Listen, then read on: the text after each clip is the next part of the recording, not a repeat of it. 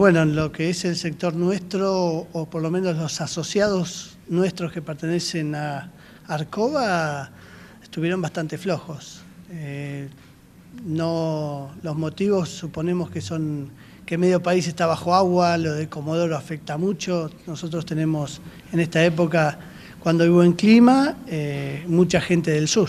Y con estos problemas que hubo en Comodoro, la verdad que se vio disminuido. La razón esa, eh, más allá también de la situación económica que atraviesa el país.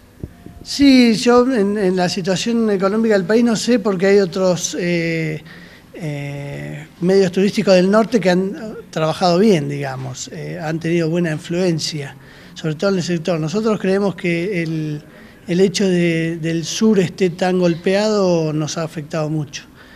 En cuanto a eventos en Madrid, la verdad que fue un, fin de semana exitoso porque hubo un montón de eventos, la gente de Madrid los aprovechó y el poco turismo que creemos que hubo eh, lo disfrutó también, ¿no? ¿Hay números, eh, porcentajes de ocupación? No, recién estamos recibiendo nosotros hoy de nuestros asociados a ver cómo está y mañana tendremos los números más finos, digamos, de lo que fue el fin de semana. Ya comparando con el año que viene, con el año pasado también, empezamos a hacer un análisis.